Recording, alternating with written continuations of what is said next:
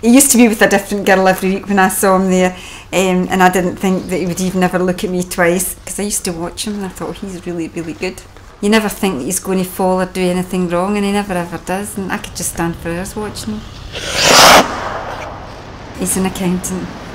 When he left school, he, he, he probably shouldn't be an accountant, but he had a fascination with engines, and he, I don't know whether he applied to the council for work, but they said that he could be working the motor taxation department. He thought he would be involved in cars, but little did he know that all he was doing was taxing cars and doing the filing for that.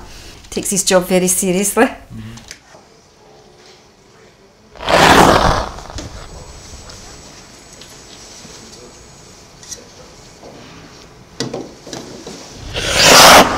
When he saw me, he didn't think they had a chance with me because he came from the Gorbals in Glasgow and I came from Cambuslang and I think he thought I was more reserved than he was.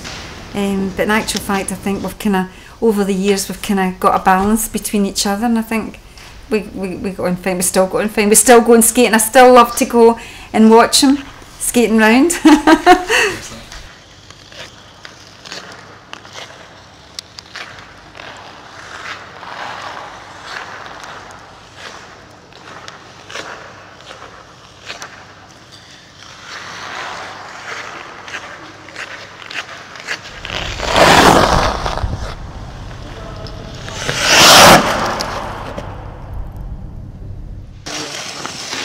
He used to do what he used to call a Hester hop. he used to turn round and as he turned round he would jump, do a wee kind of jump and a skip. But he, lo- he loves he loves when he has an audience. they usually tell him, yeah, that he looks good in the ice and that uh, where did he learn to skate. And he doesn't mind that people watching him kind of in the background and compliment him afterwards, but he doesn't like to be the centre of attention.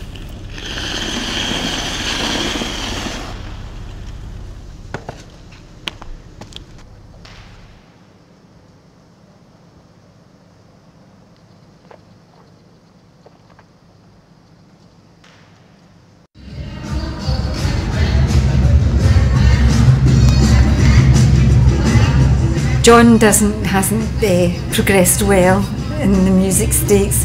I like Radio Clyde, but he doesn't. He's stuck in the 60s, 70s. Hence, our children have grown up with that kind of music, and they'll they'll, they'll like it. Um, and that's well, that was what took him up on a Thursday night to East Kilbride was because they did. I think it's 60s and 70s music that they play up there, and he likes that. He's got a group of friends up there, and some of them are older than him. And in fact, some of the younger ones have even told him that they don't know how he does it because I mean John's 52 and they say that he's got a lot of stamina for somebody. They, they wouldn't have expected him to have the energy that he does have for that age. But I think he must be quite fit.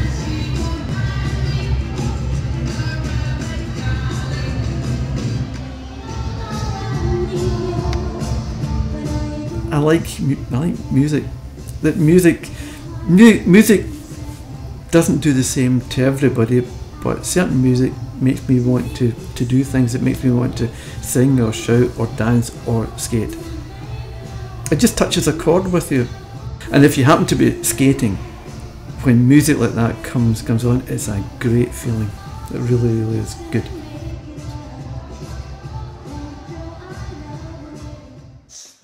I'm getting embarrassed there.